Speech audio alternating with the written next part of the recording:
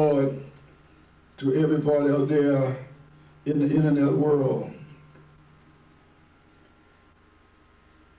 Let's go to St. Luke, the 23rd chapter, verses 39 to 42. And one of the malefactors which were hanged railed on him, saying, If thou be the Christ, save thyself and us. But the other answering rebuked him, saying, Do not thou fear God, seeing thou art in the same condemnation? And we indeed justly, for we receive the due reward of our deeds. But this man hath done nothing amiss. And he said unto Jesus, Lord, remember me when thou comest into thy kingdom. And Jesus said unto him, Verily I say unto thee, today shalt thou be with me in paradise. I want to say here today, the penitent Steve, this thief repented on the cross. He asked God to forgive him. He asked Jesus to forgive him of his sin. Because he said unto Jesus, Lord, remember me when thou comest into thy kingdom.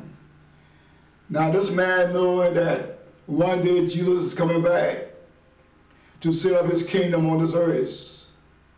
And this man asking Jesus when not come back and set up his kingdom on this earth, remember him.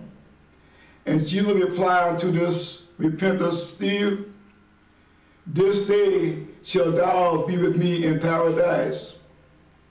I'm saying out to, to my sisters and brothers out there in the internet world, that man is not in paradise with Jesus, not yet. Because Jesus have to come back and set up his kingdom on this earth. But when Jesus come back again, this thief gonna be in paradise with Jesus. So I'm saying to my sisters and brothers, where is this man living today? He is in the grave, sleeping until resurrection day. And when Jesus called in that day, this thief to get out of that grave and be with Jesus in paradise. I'm saying to my sisters and brothers today, let us get some understanding of God's word. Let us understand the independent clause and the imperative clause of these statements that is written in the Bible. God give us something to do. He wants us to use our mind, use our brains, use our intellect. So I'm telling you out there in the internet world today, this man is not in paradise with Jesus yet. Jesus is up there in heaven. Jesus haven't come back into his kingdom, not yet. He's still up there in heaven with the Father, but one day Jesus Christ is coming back and to live in his kingdom on this new earth, headquarters Israel, the brand new Jerusalem. So I'm saying to my sisters and brothers today, if you've been born again, baptized with the Holy Ghost and fire, you ought to understand the Word of God.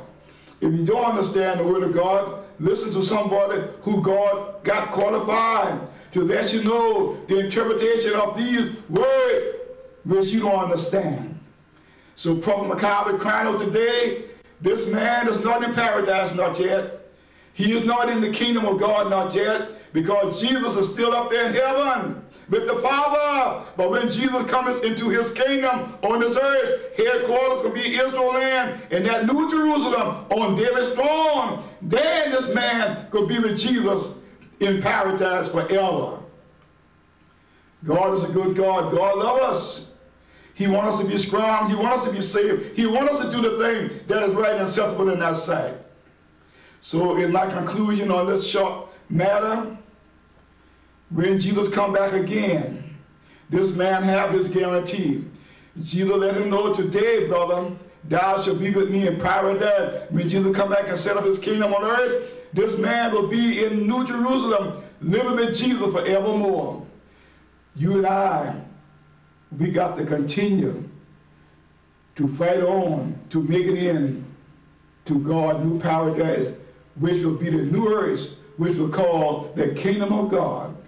So until another broadcast, this is Prophet Otis McIver Sr. Saint Salom, uh, Salom.